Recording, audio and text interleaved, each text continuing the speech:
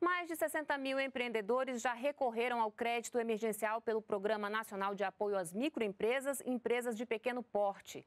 Só no primeiro dia de contratações foram liberados 160 milhões de reais, uma ajuda aos pequenos negócios nesse momento de crise. E o trabalhador já pode consultar o novo valor e a data do novo saque do FGTS. A Caixa libera hoje a consulta pelo aplicativo e pelo Internet Banking. O dinheiro começa a ser creditado no dia 29 de junho. Cerca de 5 milhões de pessoas serão beneficiadas com a liberação do FGTS a partir do dia 29 de junho. Os primeiros a receber serão as pessoas nascidas em janeiro e, na semana seguinte, dia 6 de julho, os nascidos em fevereiro. O calendário continua com o crédito em conta sempre às segundas-feiras. Já a liberação para o saque será aproximadamente três semanas depois.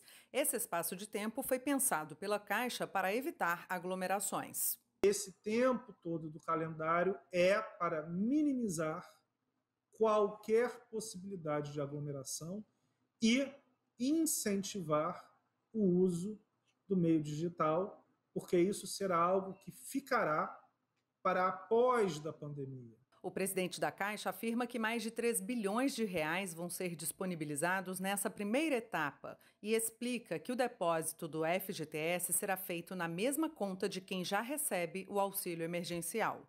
Se por um acaso você já tem essa conta, é a mesma.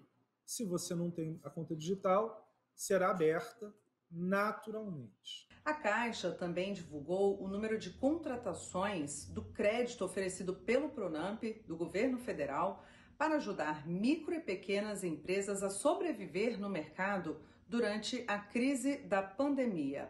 Só no primeiro dia de operações, nesta quarta-feira, mais de 64 mil empresas se cadastraram e contrataram 160 milhões de reais de financiamento. O crédito pode ser usado para reformas, compra de equipamentos, mercadorias e pagamento dos funcionários, por exemplo. Cada empresa pode pegar emprestado até 30% da receita bruta anual declarada em 2019.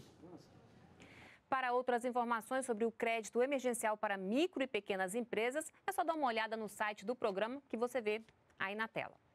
E além do aplicativo FGTS ou do Internet Banking, a consulta do valor e a data do novo saque do fundo pode ser feita também pelo Disque 111 opção 2 ou pelo site do FGTS.